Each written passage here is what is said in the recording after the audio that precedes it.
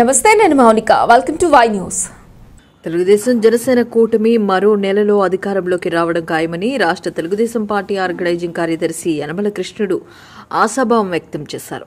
ప్రజా వ్యతిరేకతను మూటకట్టుకున్న వైఎస్సార్ కాంగ్రెస్ పార్టీ ఓటమి ఖాయమని తేలిపోయిందని అందుచేతనే ఆ పార్టీ నాయకులు స్వచ్ఛందంగా తెలుగుదేశం పార్టీలోకి చేరుతున్నారని ఆయన అన్నారు.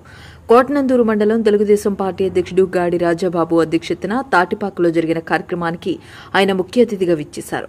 సుర్ల రాంబాబు ఆధ్వర్యంలో తాటిపాకకు చెందిన పలువురు నాయకులు తెలుగుదేశం పార్టీలో చేరారు. వీరికి యనమల కృష్ణుడు పసుపు కండువాలు కప్పి పార్టీలోకి ఆహ్వానించారు. దంతులూరి చిరంజీవిరాజు అంకవరెడ్డి రమేష్ లెక్కల భాస్కర్రావు అంకారెడ్డి సత్యనారాయణ కుచ్చర్లపాటి అరవింద్ వర్మ పోతల సూరిబాబు బంటుపల్లి వెంకటేశ్వరరావు పెనుమత్స నాగేశ్వరరావు గడ్డం కొండయ్య నాయుడు వేగి గోపి బయలుపూడి శ్రీరామూర్తి వాసం నాగేశ్వరరావు మాతిరెడ్డి నూకరాజు ఎర్ర సత్యనారాయణ లగుడు సత్యనారాయణ అంకారెడ్డి వెంకటేష్ బోడపాటి సత్యనారాయణ జనసేన పెనుమత్స ప్రవీణ్ కూనిశెట్టి నాగేశ్వరరావు అభిషేక్ తదితరులు ఈ కార్యక్రమంలో పాల్గొన్నారు. సోదరులు సోదరుమణులు కూడా పేరు పేరున నా హృదయపూర్వక నమస్కారాలు. మరి తుల్లో తుల్లో ఉన్నటువంటి ట్రాక్టర్ సంఘం మొత్తం ట్రాక్టర్లు అందరూ కూడా వాళ్ళు హింసిస్తున్నటువంటి ట్రాక్టర్ మూడు వేల మూడు వందలు తీసుకుంటున్నారని.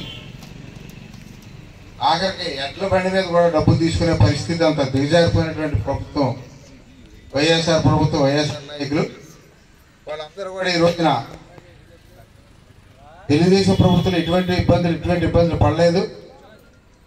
ఎప్పుడు ఎడ్ల బండి దగ్గర డబ్బులు తీసుకోలేదు.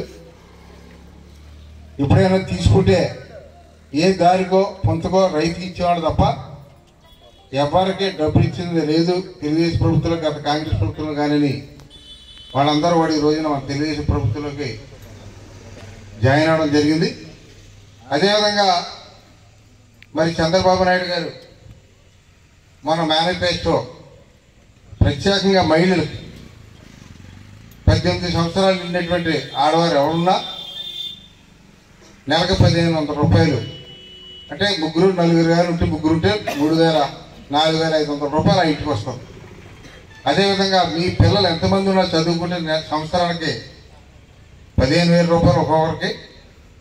మీరు బస్సు ప్రయాణం చేస్తే ఉచితంగా ఎక్కడికి బస్సు ప్రయాణం చేసినా ఈ రాష్ట్రంలో టికెట్ లేని ప్రయాణం మీరు టికెట్ తీసుకోవాలని కూడా ఈ విషయాలందరూ కూడా చెప్పవలసిన పరిస్థితి అదేవిధంగా రైతులు చాలా మంది ఇక్కడ ఉన్నారు ఇప్పుడు ఈ ప్రభుత్వం వచ్చిన తర్వాత అమ్ముకున్నటువంటి ధాన్యాలు సరైన ధర లేకపోగా కొనేవాడు లేడు. ఎవరైనా కొంటే తిరిగి డబ్బులు ఇచ్చేవాడు లేని పరిస్థితి కూడా మనం చూసాం అందుకే చంద్రబాబు నాయుడు గారు రైతుల ఇబ్బంది చూసే ప్రతి రైతు కూడా సంవత్సరానికి ఇరవై వేల రూపాయలు ఆర్థిక సాయం చేయాలని కూడా ఆ మేనిఫెస్టోలో పెట్టడం జరిగింది. ఈ విధంగా చెప్పుకుంటా పోతే మన పునాదిలో మనం మట్టి తోలుకున్నా మన పొలంలో మన పెంట తోలుకున్నా ట్రాక్టర్ రెండు వందలు మూడు వందలు వసూలు చేసే పరిస్థితికి ఈ ప్రభుత్వం ఈ నాయకులు దిగజారిపోయారంటే దాన్ని పెట్టి ఈ రోజున ఏ గ్రామం వెళ్ళినా ఈ రాష్ట్రంలో ఏ నియోజకవర్గంలోకి వెళ్ళినా ఈ వైఎస్ఆర్ ప్రభుత్వాన్ని ఇంటికి పంపాలి జగన్మోహన్ రెడ్డికి బుద్ధి చెప్పాలని ప్రజలు ఓటర్స్ ఎదురు చూస్తున్నారు. తప్పనిసరిగా రేపు రాబోయే రోజుల్లో తెలుగుదేశం ప్రభుత్వం రావడం ఖాయం. మన తొమ్మిది నియోజకవర్గంలో అత్యధిక మెజార్టీతోటి తెలుగుదేశం పార్టీ దివ్య నెగ్గడం ఖాయం కూడా ఈ సభాముఖం అందరినీ తెలియజేస్తున్నాం. మన కార్యకర్తలు కూడా తెలుసుకోవాల్సింది ప్రజలు మన వైపు రావడానికి ఇష్టంగా ఉన్నారు.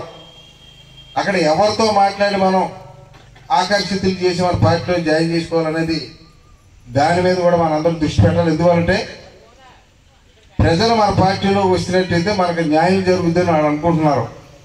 ఆ టైంలో మనం మాట్లాడి ఈ రోజు తాటిపాకులో ఏ విధంగా చేశారు అదే విధంగా మీరు కూడా ఇక్కడికి వచ్చినటువంటి నాయకులు మీ గ్రామాల్లో మన పార్టీలోకి ఎవరైనా వచ్చి ఉంటే తప్పనిసరిగా ఆహ్వానించి ఇటువంటి కార్యక్రమం పెట్టవలసిందిగా ఈ సభముఖ కార్యకర్తలందరూ కూడా నేను కోరుకున్నాను ఎందువల్ల గత ప్రభుత్వానికి ఇప్పటికీ చూసే తేడా చూసినట్లయితే చాలా వ్యత్యాసం.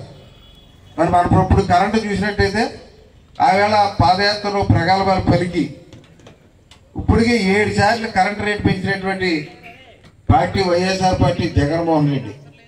అప్పుడు అప్పుడు ఐదు వందలు కరెంట్ కాల్చుకున్నట్టయితే వాళ్ళప్పుడు పదిహేను వందలు కట్టవలసి వస్తుంది.